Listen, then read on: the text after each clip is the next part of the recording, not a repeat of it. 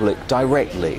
So I'm delighted to say that they join me now from Florida in Sam's case and from Rosarito, Mexico in the case of Thomas Markle Jr. Thomas, tell me, how did you learn of the news of the death of Queen Elizabeth II and how did you inform your father of the news? Oh, hello. I, Thursday morning, I was going through my YouTube answering uh, comments, and they started pouring in, and that's that's how I was informed, sadly. And then uh, text started rolling in. Uh, so it, it, was it was a very shocking morning because it, it just didn't feel right anyway. Something was off. Um, and then um, immediately I picked up the phone and called Dad, and and he had already been uh, informed as well. It was a very sad morning. How did your dad react, Thomas? Uh, dad was and still is uh, upset and sad about it, as as we all are. Um, we feel as though we have, you know, uh, a, sort of some sort of a connection um, to, uh, you know, the late Queen and the British people, and you know, on behalf of him and myself, you know, our deepest con- condolences go out to the late Queen and the entire, the, the everybody, everybody in the UK. Samantha, it's it's so nice to speak to you. Unfortunately, not in great circumstances tonight. Uh, I'm very sad for Thomas because I know that it was one of his lifelong ambitions to meet the Queen one day. He hoped that would still happen, didn't he? Yes, he did. And um, we spoke today, and he was very clear about wishing to extend his reverence, his condolences, um, and just his heartfelt sorrow um, for the British royal family and the British people, as we all are. Um, I, I, think it's been a heavy hearted day for all of us. Here in Florida, we have many, many Britons, and we have, you know, Flor- Floridians in general who are royalists, who were raised, who grew up like the rest of the world, adoring Her Royal Majesty. And she's become a part of American fiber as well, everyone's mother, everyone's grandmother. And so I think it's just been very sad for us across the pond as well. So I'm honored to extend my condolences to the British royal family and to the British people, for this tragic loss. Um, it's very sad. Thomas, have you and your father been watching any of the coverage from the UK, and do you intend to watch the funeral next Monday? Yes, I've been catching uh, quite a bit of it on television, and it's it's just an incredible journey, and and it's amazing the the respect, and it's just incredible just watching the entire crowds uh, give their respects. Uh, so I definitely plan on watching the services as well. Um, just just such a just a such a remarkable person. I mean, she was the world's queen, the entire world. Um, I, I, don't think there's a, a, more remarkable, amazing woman on the planet. Samantha, uh, of course, your sister Meghan, coincidentally, was in the UK uh, when the Queen died. She has made this public walkabout uh, with the new Prince and Princess of Wales, uh, William and Kate. But Thomas Bower, who I know that you both know and your father knows as well, he was on the show earlier, and he said that Prince Harry does intend to press ahead with the release of his autobiography in November, despite the death of the Queen. Uh, do you think that's appropriate, Sam?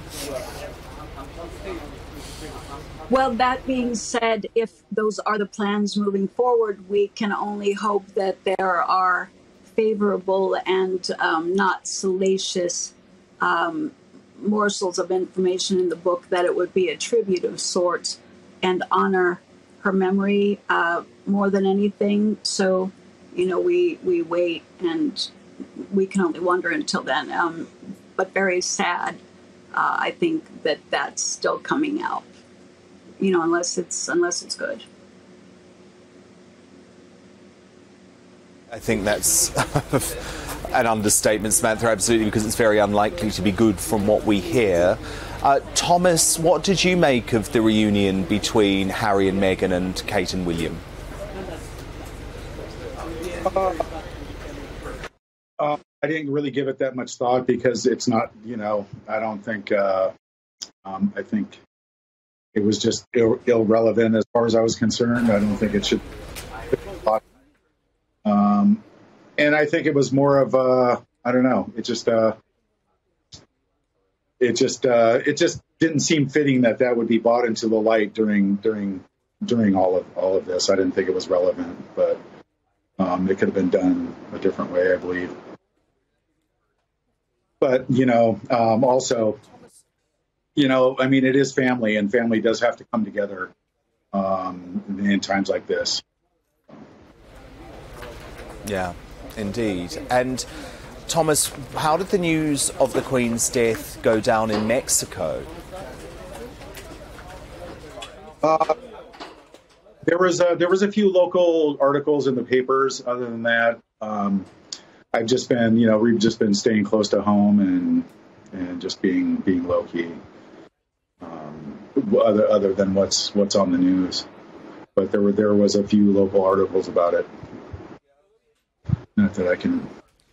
Samantha, Samantha, Samantha. Given uh, that Meghan has now reunited with the Windsor side of the family, of course, coming back together with William and Kate, despite all of the acrimony, do you hold out some hope that this might be a bit of a life changing event for her, one of those moments that makes her think, oh my goodness, I've got to see and speak to my father before he dies?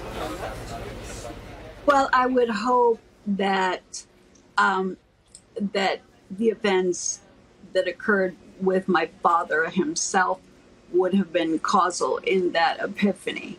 And so, you know, I, am not keeping my fingers crossed or holding my breath on the grounds that so much has transpired that's been serious.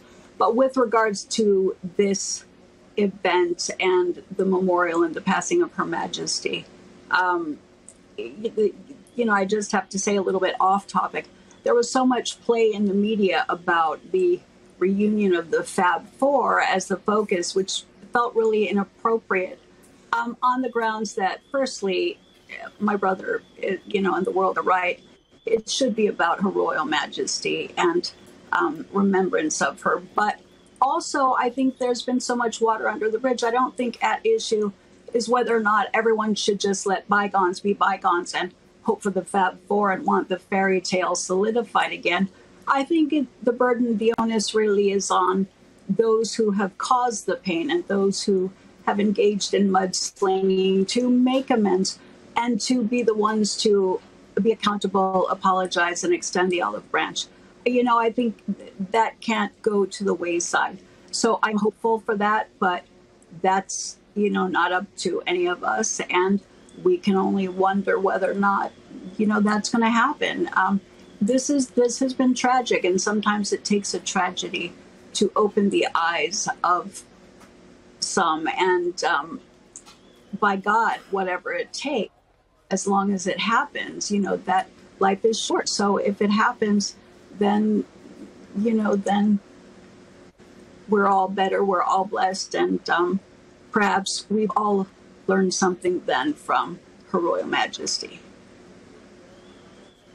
Yeah, and that's the thing. There are so many things we can learn from the Queen. Uh, Sam, I just wanted to talk to you because I know you're in Florida. A lot of the uh, sort of liberal left wing American media, the New York Times, the Washington Post, uh, CNN, has been very disrespectful over the past few days of Britain, of our monarchy, uh, of the Queen, of uh, William and Kate as well, the new Prince and Princess of Wales. And one CNN report, they were simply dismissed as, oh, those other royals, because they were so focused on Harry and Meghan.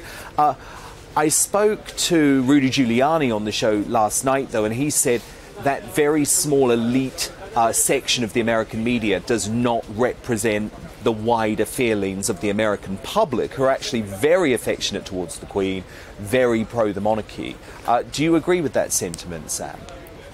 I do, and I agree with that on the grounds that the radical left have spun a narrative that is very emotional and fragmented without looking at full facts on the table, such as, you know, the charitable contributions and activities of the British royal family, particularly Her Royal Majesty, going back to, you know, being integral and involved in more than 600 charities worldwide, beginning in 1949 and to the tune of billions of dollars.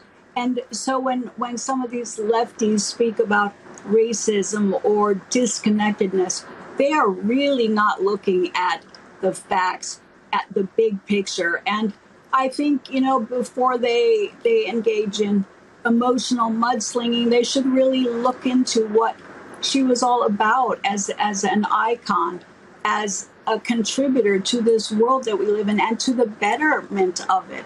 The world is a bit more dismal without her unless we adhere to some of the values that she left us with. And I think the left would be wise to, um, you know, apply some of those values in their lives. It, it only can bring good. Uh, so, yeah. Point. Um, Thomas, finally to you. Uh, obviously, we're following very closely the progress of your dad. Uh, how is he doing? We're still determined, of course, that he'll make that visit one day to London. Yeah, I did the other day. Actually, um, Dad plans on definitely making the trip. He's doing very well, making more progress all the time, which is great. Um, so we definitely do want to make that trip and get over, and uh, definitely looking forward to it. Um, we also wanted to say uh, deepest love and sympathy to Charles and compassion for Charles and the entire royal family as well. Absolutely. Well, look, really beautiful stuff.